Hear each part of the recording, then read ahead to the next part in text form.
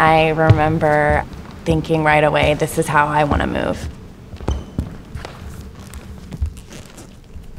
Agon was the first Balanchine ballet that I ever learned.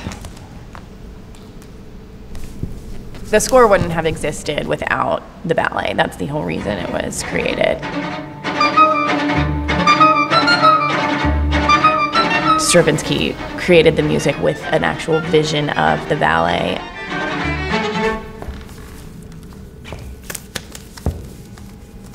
The choreography shows the score very clearly. And you could see it very well because Agon is one of Balanchine's leotard ballets. It's just the raw elements, the music, the dancers, the choreography. That's it.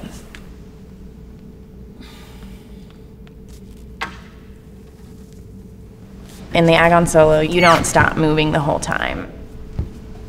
There's a lot of leg extensions and really deep plies that you have to move quickly out of.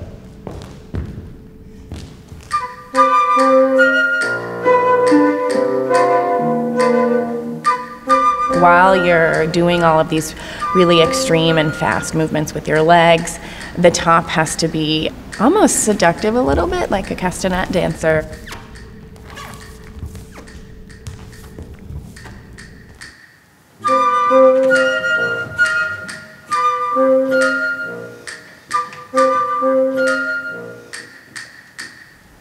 There's tension in the pas de deux, and I actually think agon means contest, and that's where that really comes out.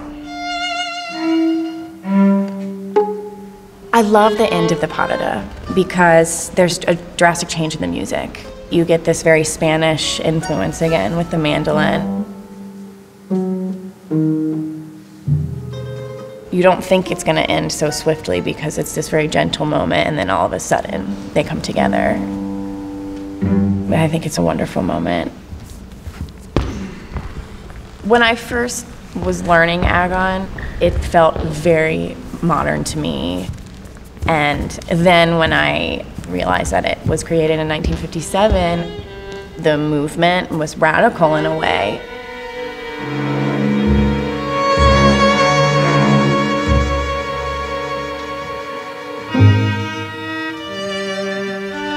It's very extreme and provocative.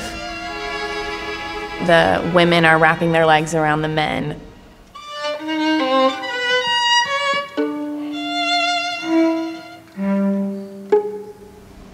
The hips are really thrust forward.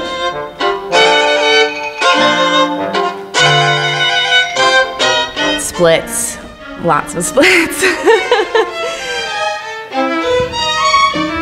It's wonderful. I mean, um, because you can see how far the body can go.